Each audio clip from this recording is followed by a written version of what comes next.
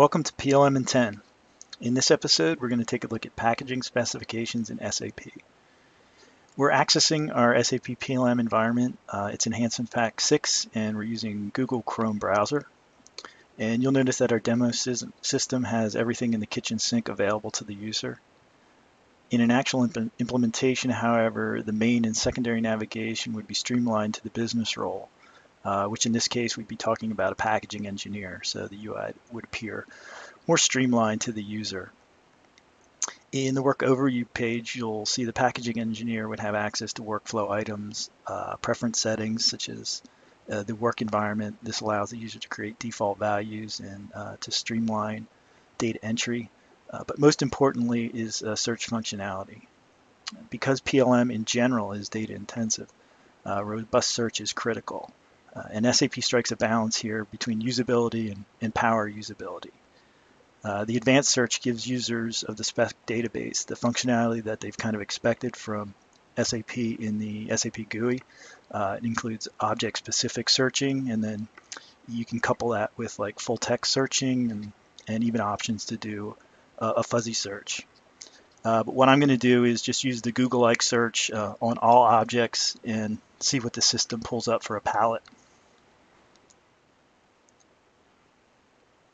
So you can see that the query searched across all PLM objects uh, and their icons that can be turned on to help user recognition of object types, uh, where the result is a material, document, specification, uh, recipe. Uh, if there's an associated image with the object, uh, you can see the respective thumbnail. Or you can turn on display preview for more details on the object uh, when you select it. Again, this is an example of what some call the uh, consumerization of the enterprise, uh, giving business users the feel and functionality they come to expect from their day-to-day -day personal interaction with the web and related technologies, bringing that to SAP. What I'm going to do now is narrow my search to specifications only using a description for an insecticide I know is currently in our system. So this will just pull up only spec types in the system. So you can see that the found set returned just specs. You can see we have different uh, packaging types in our system, assemblies, bags, generic film, can, pallets, finished assemblies. These spec types and associated data structures, uh, they're all configurable. The spec database is very flexible, uh, which is why it's such a powerful tool for companies. So I selected a finished assembly and we'll show how all the component specs come together here. Again, we're looking at the HS Fogger uh, and the basic data. So you get the header validity, basic admin data, and access control, which has to do with um, collaboration and access to the specification. I want to point out in identifiers, here you can add any number of identifiers to the specification. Uh, this will increase its visibility when you're searching the object and looking for it if it's known by uh, multiple names within within your system. Status will look at workflow. Uh, and here's an important piece is material assignment. So your specification has a direct link to the saleable material um, in ERP system. And then relationships. This is an important aspect of the spec database where you can reuse data. So you'll see here that we have a pallet uh, pattern that we're inheriting into this specification. So this can be reused in any number of spec assemblies or uh, finished assemblies. And when we move over to properties, here's what we're looking at now is a property tree in the specification database. Again, you can configure as many because SAP handles more than just packaging specs, you can have any number of uh, property trees. So when we select our finished good assembly, you'll see the green checks where it shows that we have data associated with this specification. And here you can see all the component specs that make up the HS Fogger. Uh, we have the, the bag specification, the film, the corner board, all these components roll up together to make the final assembly and you can see some of the uh, data and values associated with the components. So again, this spec type, this finished assembly, um, includes admin data, technical packaging section, all configured based on the spec type. Nothing comes out of the box with the system, um, although Linx-AS as a company has standard spec types that you can use. So you can see on technical packaging, you have your general data on the branding, manufacturing plant, country of origin, manufacturing codes, distribution item. So these are all on the component finished spec level.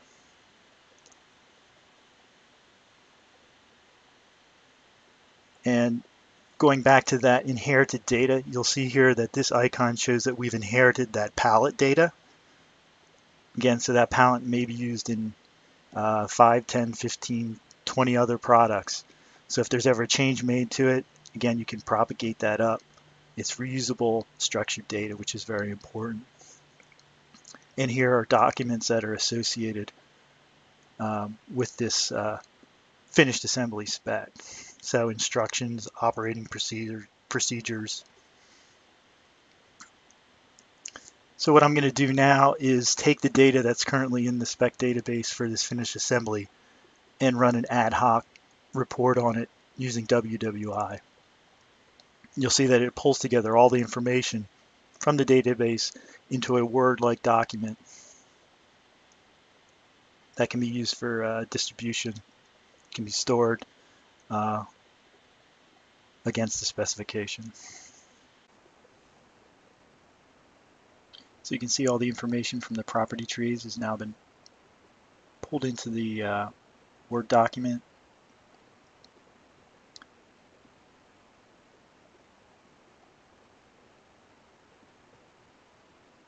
This also includes uh, the images that were associated with the specification.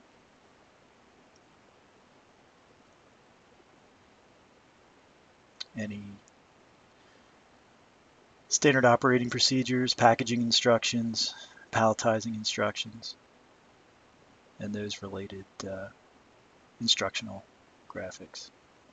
So now what I'm going to do is go into another system we have here, and I want to show how you can look at uh, packaging from an integrated product development standpoint. I'm going to look for a chicken nuggets product that we have in the system. Again, you're familiar with the search results return.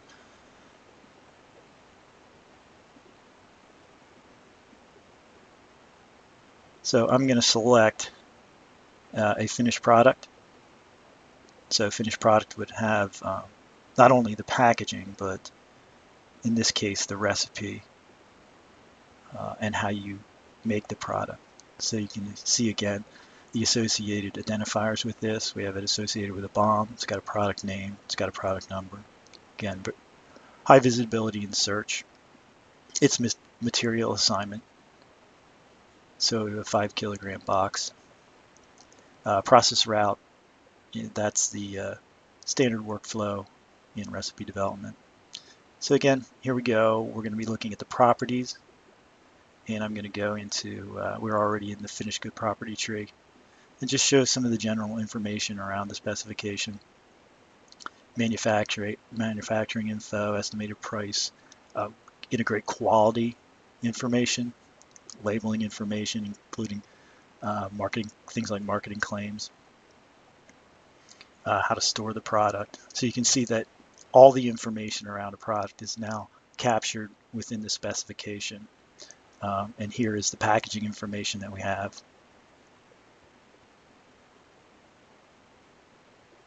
Includes our inheritance that we saw in the previous spec. Dimensions, pallet dimension. Here's that's just an example of how uh, you can invert invert the axis. Again, just more of a usability feature within the spec database uh, text that goes along with the packaging instructions. So this is a, a full product finished goods specification. And you can see now the packaging information is associated with the actual ingredients. So this gives you an idea how you can, from a product development or a product data management standpoint, you can achieve that one version of the truth uh, for product related data here tying in all aspects of product data. Product data.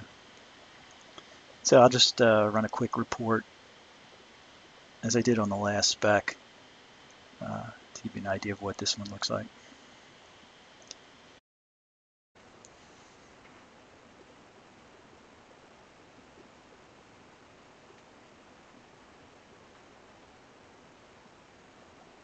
So here you can see that uh, we have our ingredient listing and other images imported, all the packaging data. So this is a full finished product specification document.